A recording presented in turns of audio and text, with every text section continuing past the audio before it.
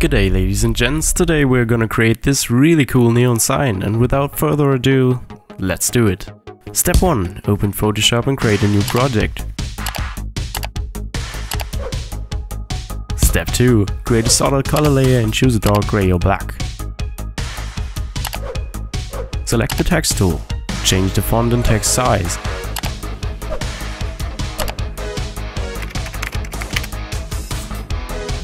Write your very own text now.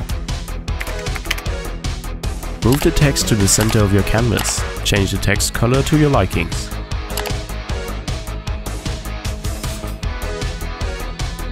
Step 3.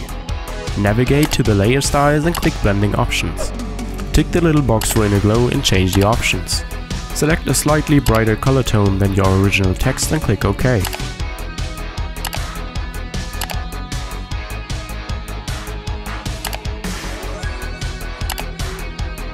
Do the same for the other glow settings, except that you have to choose a slightly darker tone for the color now.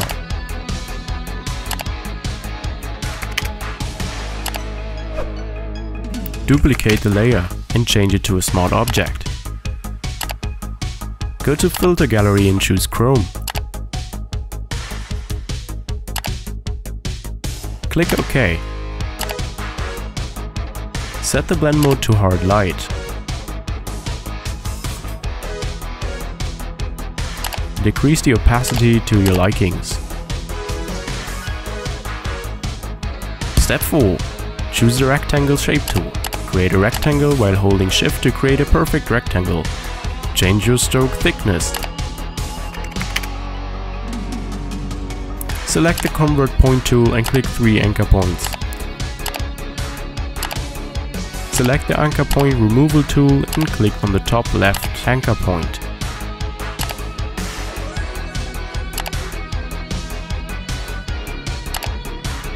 Change your shape color.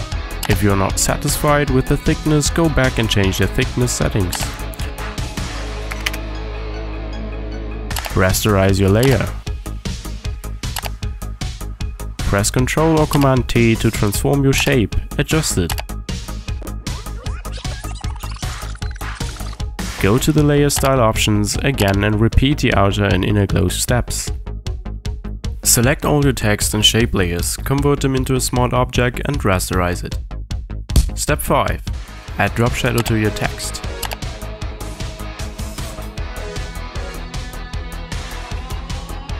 Drag and drop a brick wall into Photoshop.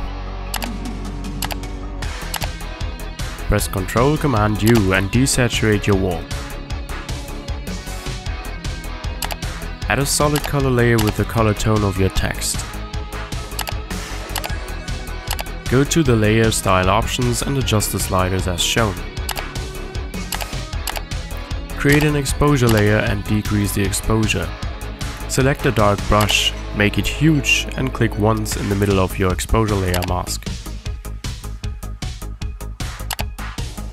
Now go to your solid color layer and change the blend mode to lighter color.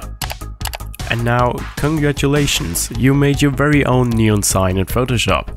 To adjust the colors a little more, you have to select all layers and click reduce to one layer. After that you can go to filter, camera raw filter and play with the adjustments there. Alright guys, we arrived at the end of this tutorial. Thank you for watching and I hope you enjoyed it. Leave a like and subscribe if you liked this video.